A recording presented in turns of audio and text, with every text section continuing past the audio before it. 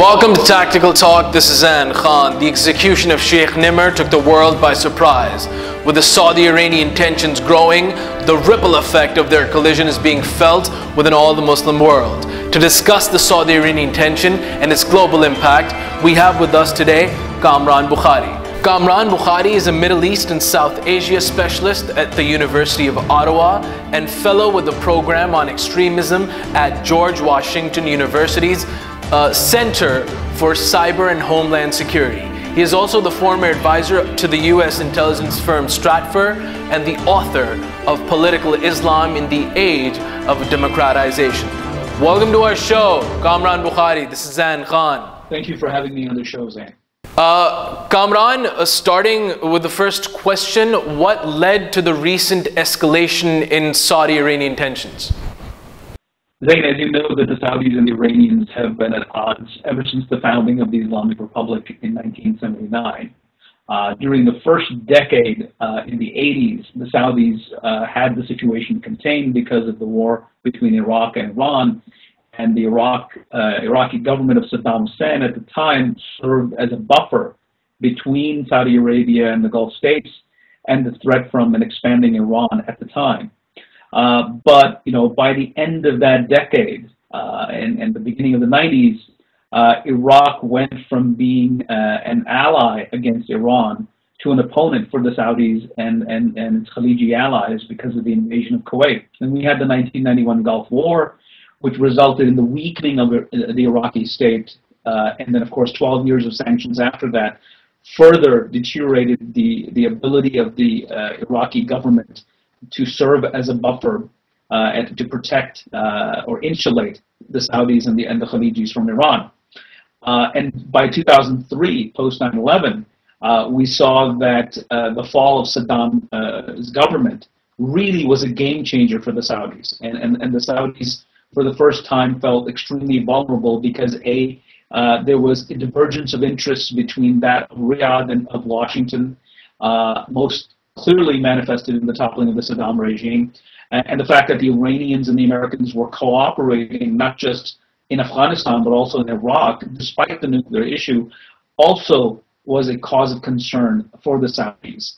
Um, and if you fast forward to uh, 2011, Arab Spring, and when the collapse of the Arab states around Saudi Arabia was taking place, naturally the Saudis felt more vulnerable, and, and they knew that Iran would have more space uh, to intervene in what it considers uh, collective Arab security, for which it was responsible by then and continues to be. And now with the nuclear agreement, uh, you know, th- this is almost like a nightmare scenario for the Saudis because uh, their biggest ally, the United States, uh, is, in on a pro- pro- is involved in a process towards détente with its biggest enemy, Iran. Uh, Kamran, second question. Uh, who was the Shiite cleric Sheikh al Nimr and why did his execution become the trigger for a major spike in an ongoing geopolitical conflict between Saudi and Iran? Sheikh Nimr al Nimr uh, is basically the most radical Shiite cleric in Saudi Arabia. Uh, there's a whole spectrum of, of uh, Saudi Shia clergy, some of whom are moderate, uh, some of whom are centrist. Uh, but Sheikh Nimr was really uh, one of the most uh, prominent radicals who was uh, bitterly opposed to the rule of Al Saud uh, and was placed, positioning himself as a champion of, of the Saudi Shia. obviously, this is a problem for the Saudis and, and, and, a security concern.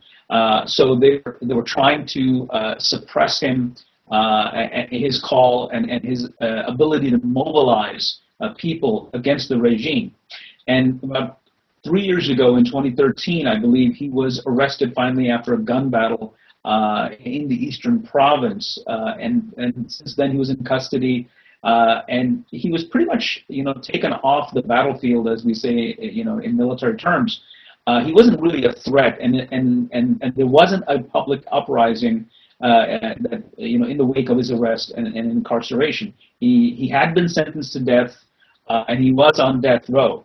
Uh, his timing, the timing of his execution uh, around New Year's uh, was very telling uh, in the sense that he, he, didn't have to be executed then. Uh, and, I mean, he could have stayed on death row for quite a while. The decision of the Saudis to execute him, along with 40 some other, mostly Al Qaeda jihadists, uh, you know, was a Saudi attempt at sending a message. Uh, the first message was to Iran that uh, the Saudis are not going to allow Iran to intrude upon uh, Arab space, and especially not Saudi uh, domestic affairs. Uh, and by executing the Shia cleric, the Saudis were sending a message to the Iranians. secondly, by executing him at the same time as they executed uh, jihadists from Al Qaeda, they were sending a message to the world that the Saudi regime does not distinguish between uh, uh, Daesh, i.e., ISIS, Al Qaeda, and dissident Shiites or pro-Iranian Shiite elements. They, the, the Saudis were saying we consider all of them uh, as enemies of the state and enemies of uh, Arab and regional security. And, and they were putting Iran uh, on notice as well, as I mentioned earlier. So this was basically very well timed. And obviously things got out of hand uh, with the, uh, the, the torching of the embassy, of the Saudi embassy in, in, in the Iranian capital, which led to the Iranian snapping, I'm sorry, the Saudi snapping diplomatic ties, and now we're, uh, you know, Saudi-Iranian tensions are at an all-time high, and, and, and that has real serious repercussions for regional security at a time when the region has no shortage of, of commotion and chaos. Uh, Kamran, are these two regional rivals on a collision course towards a straight out war? Uh, in any case, what are the repercussions for the Middle East and wider Muslim world? I don't think that the Saudis and the Iranians are necessarily on a collision course uh, whose uh, outcome would be a direct war between the two regional rivals. And there are a number of reasons for that. The first being that uh, neither side is capable of uh, a, a, direct conflict militarily. I mean, they, they, they're both weak in their own respects. Uh, and then the geopolitical conditions in which they operate essentially make this a very cost prohibitive uh, uh, policy option. number one, you know, if you look at the Saudis, they are dealing with a lot of chaos in the Arab world.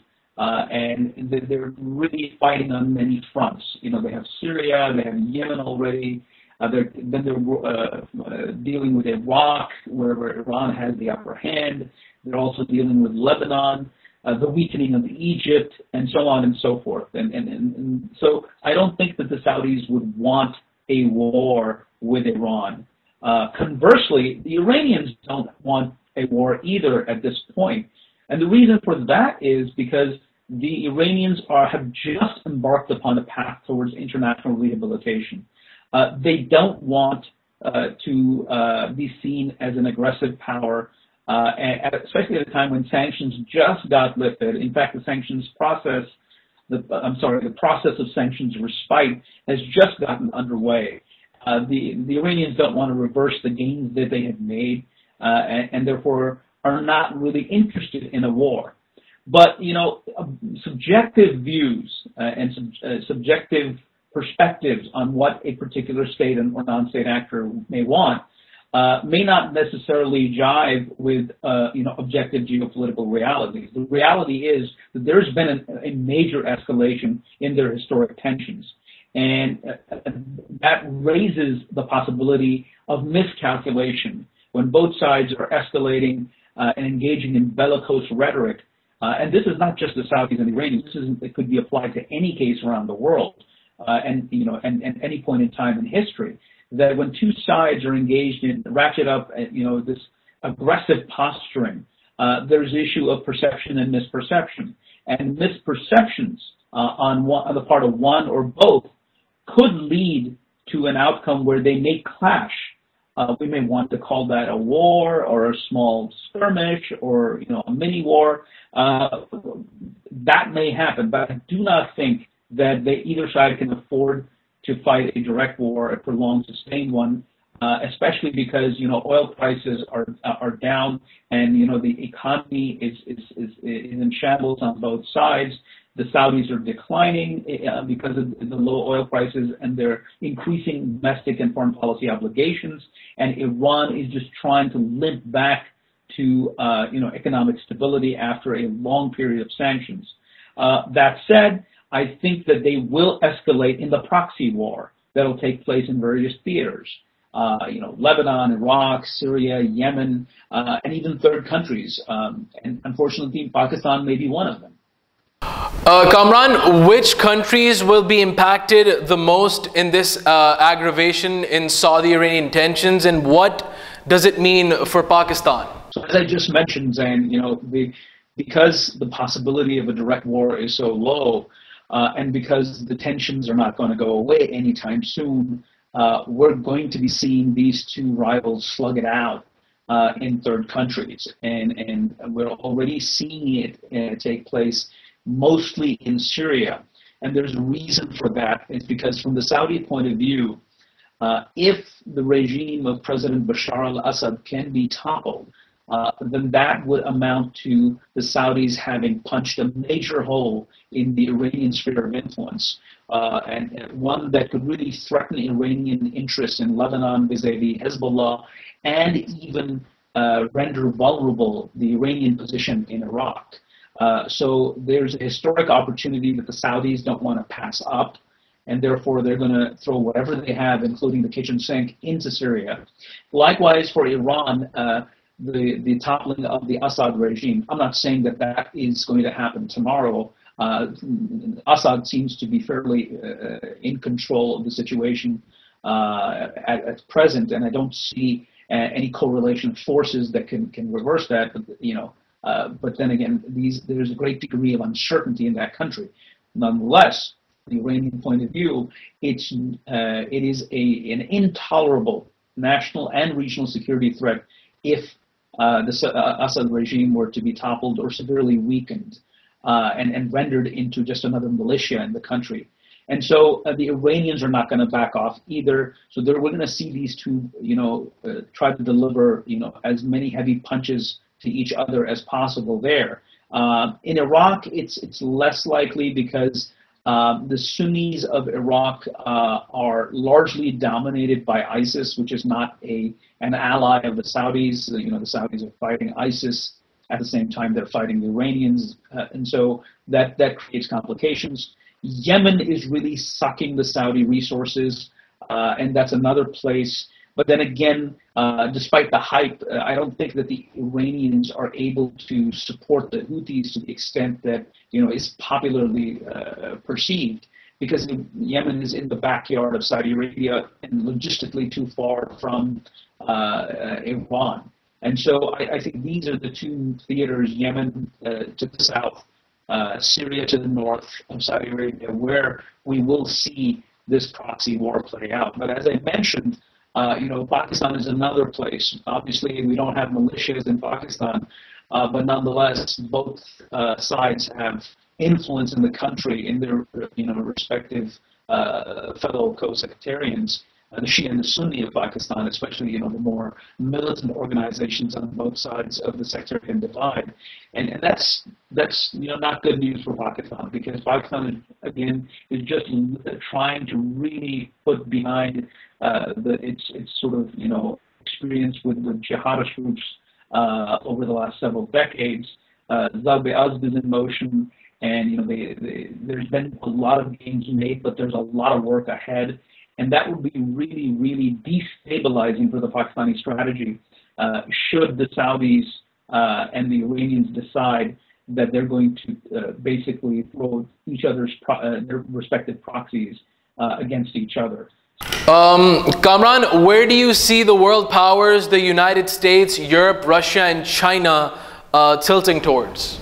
As far as the international stakeholders uh, who have an interest in the region, and especially the Saudi Iranian uh, rivalry, and, which connects to other interests that world powers have in the region, especially as it concerns ISIS, the United States obviously tops the list of those players. And, and the U.S. strategy uh, has been that uh, it's not going to take a lead role, it's not going to intervene militarily uh, in any country as it did in Afghanistan and, and, and Iraq uh, in years past.